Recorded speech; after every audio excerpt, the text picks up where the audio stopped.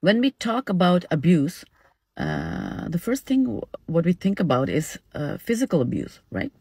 Uh, hitting, uh, slapping, etc. But that's not the only abuse. You have emotional abuse. There is religious abuse. There is financial abuse. There is sexual abuse. So um, abuse comes in different forms.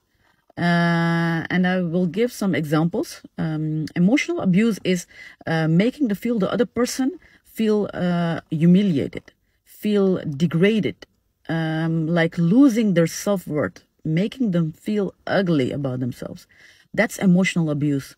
Uh, most of the time, um, are people married, um, and there's no hitting at all, but they have uh, emotional abuse and uh, people think oh okay i don't have a scar or something. But there are scars on the heart. There's